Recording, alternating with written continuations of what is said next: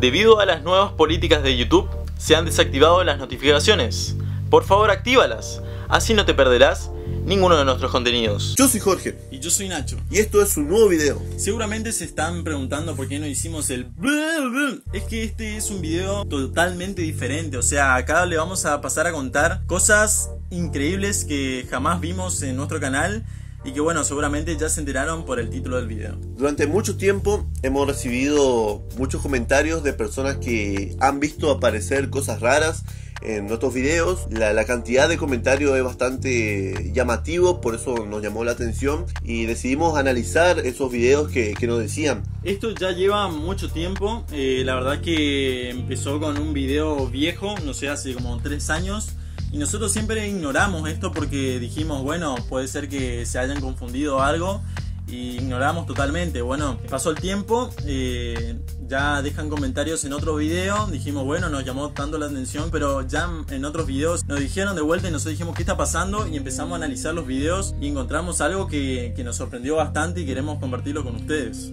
El video que se refiere Nacho es eh, Defendiendo mi hogar, así se titula. Es un video que nosotros hemos hecho en el 2013, 10 de marzo de 2013. O sea, exactamente más de tres años ya. El video se trata más o menos de, de que él es una, una persona que está sola en la casa y de repente entran dos eh, chorros, dos delincuentes y se arma un tiroteo. Ahora sí que somos solamente nosotros dos y obviamente Nacho hace de otra persona. Recuerdo que en ese video era un domingo, Sí. nosotros estamos los dos solos Generalmente nosotros no grabamos esta clase de videos, o sea, así sketches humorísticos.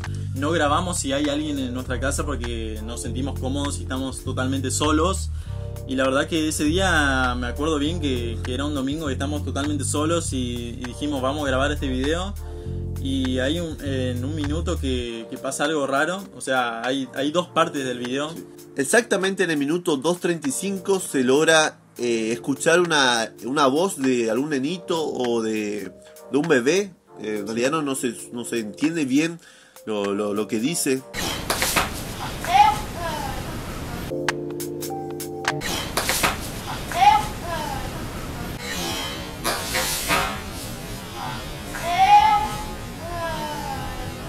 Y también en el minuto 3.20.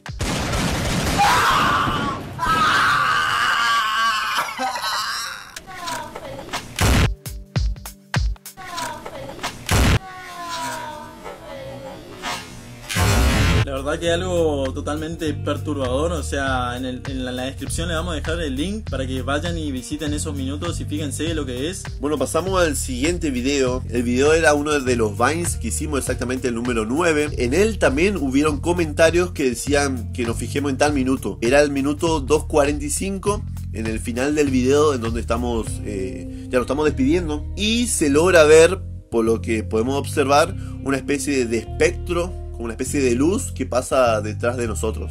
Esto también es bastante perturbante, yo cuando lo vi dije no, no, no puede ser, porque siempre nosotros grabábamos en ese lugar y, y nunca pasó esto. Y ahora vemos y, y exactamente en ese minuto donde pasa, así que vayan, visiten el video, que también lo vamos a dejar en la descripción y fíjense lo que pasa, la verdad que nos gustaría saber qué opinan de esto, ¿no?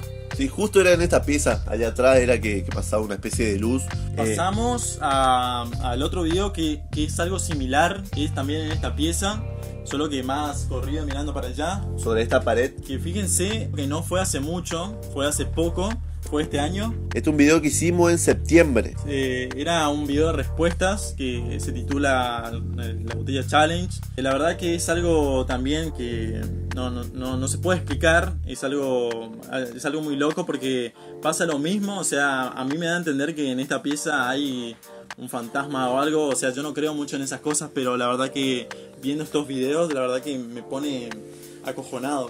Sí, espero que en este momento no esté pasando nada. Pero sí, exactamente pasó en la misma pieza y sería como el mismo espectro. Así que vayan a visitar el, minu- el minuto eh, 3.38. Todos los videos van a estar en la descripción para que vayan y, y lo visiten.